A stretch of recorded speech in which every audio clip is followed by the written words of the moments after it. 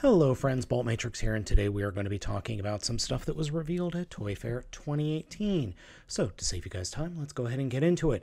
I'm going to be using some official images and some images from TFW 2005.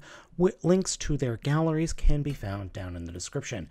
So, starting off, we're going to get into the studio series of figures from the new Studio Series toy line. First up is Leader Class Blackout.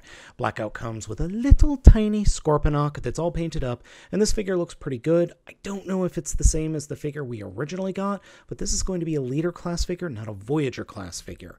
Next up is Leader Class, I'm sorry, Voyager Class Decepticon Brawl, and this is a new figure, new mold, and it's definitely looks like Brawl from that original toy line, but I think it's going to be just a little bit different in the transformation.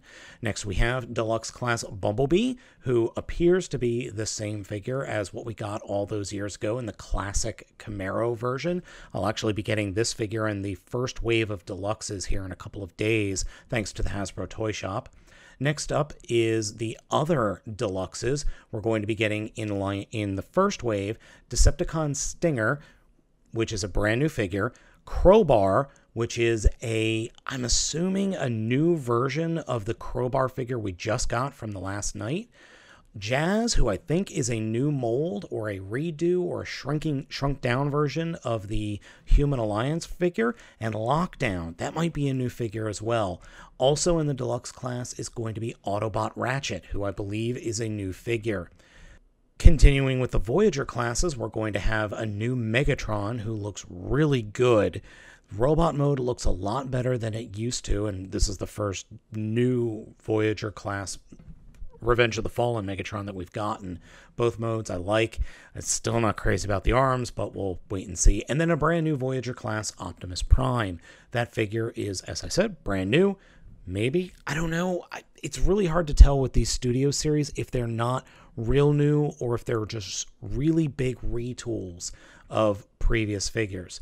And then lastly, for the leader class, we're going to be getting a brand new Grimlock, leader class Grimlock from Age of Extinction.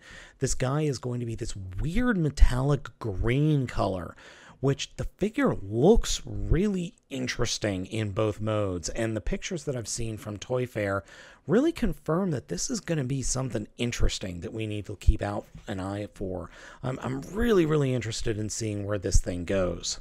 Next, there is a brand new Starscream figure, which I was not expecting at all. And looking at the picture, it looks, or the official image, it looks like more of a, I'm not sure how to explain this, a pared down or a shrunken down version of the ultimate or masterpiece Starscream that we got from a couple of years ago.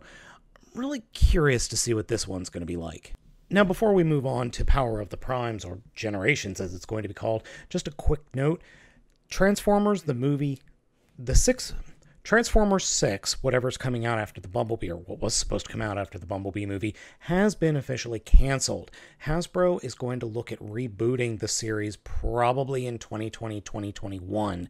So who knows what we're going to end up with. We This might be the swan song for the Transformers movie lines, and we might get something completely different in a few years. I would welcome a design change. I think the Bayformers at this point have just gotten old, tired, overly complex, and overly pointy. Now let's move into the Power of the Primes. Now, the Power of the Primes is going to be ending towards the end of this year and turning back into the Generations line. And then after that, we're going to have something called the War for Cybertron. Not related to the games, oddly enough. So let's go ahead and talk about the power of the primes. Starting off with Autobot Moonracer, that figure will be coming out a little bit later. It's Moonracer. What can I say? We already knew about this figure. What we didn't know about was, was Autobot Novastar, who is really Autobot Firestar. She is a remold or slight remold of Autobot Moonracer. Next up, we already knew about that, knew about the leader class evolution Optimus Primal. It's actually several figures in one, so we're going to get this squared off Optimus Primal version that looks like Optimus Primal that we know and love. He's going to turn into a surfboard. Then that is going to combine with the Optimus or optimal Optimus Primal mold that it comes with in the gorilla mode to make the robot mode. And then apparently both of those can transform into a flight mode and a robot or a robot surfing monkey mode. So, yeah, I'm looking forward to that figure. Then we have Battleslash and Roadtrap. These two figures merge together to form Battletrap. Yes, there are duocons. I have reviewed, I've shot the review for these figures, and that will be going up here maybe in a day or so. Along with that review is an Autobot Tailgate. It's a redo of, um, oh, who do you, what is his name? Windcharger. It's a uh, retool of Windcharger, slight retool, just a different head. Next up are the Prime Masters Solus Prime with Octo Punch decoy armor, Megatronus with Bomb Burst decoy armor, and Bludgeon with, I'm sorry, and Quintus Prime with Bludgeon decoy armor. I'm so happy that these little decoy armors are all G1 com- combiners. Jeez, G1 pretenders. I really like that.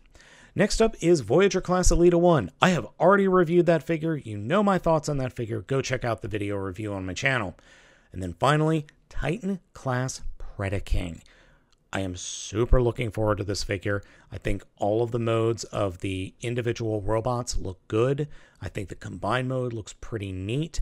The official direction or the official picture we have has the arms being a little bit better proportioned than they showed them at Toy Fair. At Toy Fair, the up, the lower arms, the forearms, were fully extended out, knees and legs. It didn't look doesn't look good, but the official image that we have here looks very good. Also on display for Powers of the Prime is a full combined Abominus. We've got Wing Thing in both modes looking really good. We've got Sinnertwin in both modes looking excellent. And then we have Blot. I'm so happy we're getting an official Blot figure. I love it. And Rippersnapper, which we already knew about. And that's it from the Transformers side. There were some Rescue Bots shown off, but not much. There is a new series coming called Rescue Bots Academy. I'm legitimately looking forward to that show. I think Rescue Bots is a fantastic show.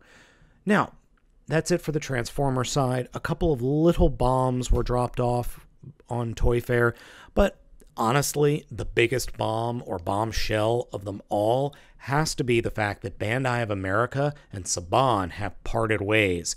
And now Saban is partnering with Hasbro for the next Power Ranger series in 2019. Yeah, Hasbro. That's pretty cool. I'm really, really excited to see where this is going. I, I really want to see what Hasbro does with Power Rangers. Oh, and the series they're going to adapt, it's going to be Power Rangers Beast Morphers. They're bringing Go Buster to the US.